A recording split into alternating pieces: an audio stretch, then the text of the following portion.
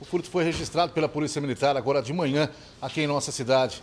O proprietário Lúcio não teve um bom começo de dia, né? Porque bandidos invadiram seu estabelecimento, levando dinheiro, fora os danos que foram causados, né, Lúcio? Então é isso, né, que a gente fica triste, porque a gente é, chega de manhã, né, para trabalhar, encontra o seu estabelecimento todo revirado, né? É, o valor em dinheiro assim não foi muito, mas o, o, duro é a, até a parte psicológica, né? O, a bagunça que eles deixam, é, danos materiais que é para restaurar telhado que quebraram, forro, né? Então esse é um prejuízo maior que a gente sente. Bem, a gente está acompanhando, estamos acompanhando as imagens aí, Lúcio. Ele foi bem tranquilo, né? Ele agiu bem tranquilo, abrindo freezer. Até uma garrafinha de pinga ele deixou sobre o telhado, né?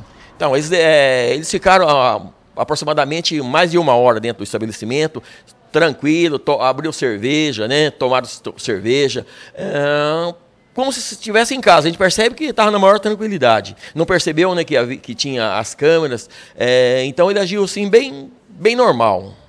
Agora, Lúcio, quanto foi levado em dinheiro? Apesar de ser moedas, uma quantidade é, bem razoável. Aproximadamente 350 reais em moedas. É a primeira vez que acontece isso aqui no teu estabelecimento? Não, já é a segunda vez. Já para uns 5, 6 anos atrás, uh, houve também uma, uma invasão assim, né? É, a outra vez é, levaram moedas também, mas atearam fogo em papéis, né, para clarear. Então, é, foi um negócio assim, até, até mais complicado. Dessa vez, uh, ele estava com uma lanterninha, ou não sei se fósforo, né? E não chegou assim até a fogo e nada.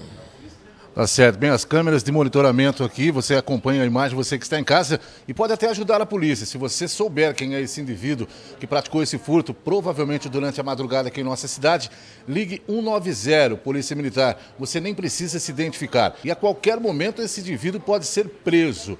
Ele cometeu o furto provavelmente durante a madrugada.